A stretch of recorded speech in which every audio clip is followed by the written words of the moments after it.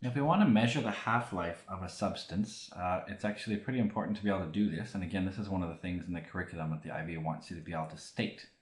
So if you want to actually measure the half-life, uh, the first step is to actually, um, you have to measure the background. I better write this down. So measure the background activity. So what I mean by that? Remember activity meant the decays per second. So the reason we do this is because the background activity there's going to be stuff caused by everything around you. So there's going to be, for example, uh, rocks. Um, there's going to be you know radioactivity happening from space. It's even going to come from you, since you have some radioactive uh, materials inside you. So it's really important to do this right here to actually measure this. The reason is because then we'll subtract it away. See, in uh, both of these cases here for short half-life and long half-life, we're going to have to measure the background activity and then subtract it away. That's because we want to actually find out the activity of the substance, not what's going on in the background. So for a short half-life, uh, what we can do, we just, it's actually quite simple. We just measure the activity of the substance. And then we just graph it. So for example, I could be measuring uh, the activity versus time. So let's just say I do the activity here. And this could be in uh, decays per second, which remember are called becquerels. So let's say I do the activity uh, versus time, and that can be in seconds or years or whatever. It has a short half-life. It'll work nice if it's in seconds, obviously. Let's just say it starts off with a certain amount of activity. After a while, since there's less of them, it actually will go down again. Just like we talked about before, after a certain time, the activity will go down to half of itself, and that means then that we'll have a half-life here. Now the reason why I can do this, it seems like, well, can we really do this since uh, this activity equation is not the same as what I'd shown you before for uh, masses.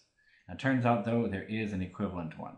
Okay, so this one here we could actually just uh, we could just graph it, and from there we could get it. Okay, but then uh, if we have a longer half-life, we'll have to use this equation here. So instead of n equals n0 e to the minus lambda t, we can actually say a equals a0 e to the minus lambda t. So in this case here, if we have a long half-life, that means that it's very difficult. You know, if we graphed just excel, um, not acceleration, uh, if we graphed uh, activity versus time, if it's a short half-life in seconds, we'll probably see something happening. It's no problem. But what if your activity uh, doesn't change much over time? Because if your half-life is long, I mean, half-lives can be millions of years. So it's not like you're just going to sit there and wait a million years in order to be able to tell what your graph looks like. I suppose you could, but that'd be pretty boring. So instead, we can actually do something a little bit more clever. We can actually get it not from this curve, which would have to wait at least one half-life in order to see it. What we can actually do, we can graph something a little bit different. Let's again look at this equation here, a equals a0 e to the minus lambda t. We're again going to be measuring the activity of your substance. And of course, you're going to subtract away your uh, background, just like in the first one here. You had to measure your activity and you had to also uh, subtract your background. But now when you measure this activity, what you're going to do, let's just actually take a look at what we'll have to do here. If we look at this right here, uh, well, actually, I'll write it down first and I'll explain why that is. So first we'd measure the activity, and after that we would actually graph. And I'll explain why this will be in a second. So ln of A versus time. And turns out the gradient will be equal to minus lambda. And from that, from lambda, of course, you get to t1 half is ln2 over lambda like we had found before. So that's how you could do it. Now, how in the world did I get that? I want to show you that. I think it's pretty important. So this is kind of the key to it. So let's look at how we actually get to that. Let's take this equation, a equals a0 e to the minus lambda t, and let's do what we were doing a long time ago when I was showing you how to linearize. Okay, so at the beginning of the chapter 13, uh, or the topic 13 videos, I showed you some examples of how to linearize something. Well, I actually want to linearize this, a equals a0 e to the minus lambda t. The first thing I'm going to do is actually drop my a0 down. So I'm going to have a divided by a0 equals e to the minus lambda t. Now, of course, I want to get rid of my e. So the idea is I want to graph, you know, something versus time. So I want my t sort of on its own. So I want to get rid of my e. So in that case, then it's going to be natural log of a over a0 will be minus lambda t. Now I can work a little bit further with this. We've done things just like this with our n equation, but we can do ln of a minus ln of a0 equals minus lambda t. All I'll have to do now is if I move this term to the right, so by throwing it over, I end up just adding it.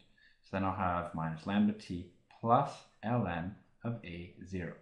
If you look very carefully at this right here, this has been linearized. In other words, it looks just like y equals mx plus c form. Okay, it sort of looks like this. And the reason is, take a look at this equation here carefully. It turns out it looks just like this. You may not see it, but it does. So let's uh, explain things why things are the way they are. So if I graphed ln of a as my y, and I made t, I made that my x, then what would I get? Well, then this minus lambda, that would be my gradient. And if I graphed uh, it, then I would get ln of a0 would be my y-intercept. So that means if I graph it, so let's actually show what it looks like. So if I actually did this graph, so here and here, this here is just t. This is ln this time of a. It won't have any units now. This right here, uh, natural log won't have any units anymore. But now I expect to get a straight line. In fact, it'll uh, start off, let's say up here maybe, and then it goes down like a, straight line like this. This y-intercept will be ln of a0. And my gradient will be equal to minus lambda. And again, once I have lambda, what do I do? Like I talked about here. So I said you measure the activity, you graph ln versus time, and your gradient will be minus lambda. And from that, you get t1 half because ln of 2 divided by lambda gets you t1 half. So hopefully that's clear. Uh, it seems like a weird thing to do, but the reason we do it is because we didn't have enough time to wait for a whole half-life. See, in the first one, we had lots of time uh, because the half-life is so short that the you know we should be able to see a few half-lives happen so we can maybe take an average but for something with a long half-life we don't have time to wait for a whole half-life so we could just graph activity but the problem is you wouldn't see much from the curve so that's why if we're a little bit clever about it rather than uh, just graph the activity over time if we graphed natural log of the activity versus time we should get a straight line and from that, the gradient gets us lambda, and from lambda, we can get the half-life by this equation here. Okay, so this right here was actually the sort of the key to doing it right here. And I just wanted to explain how we got what we got.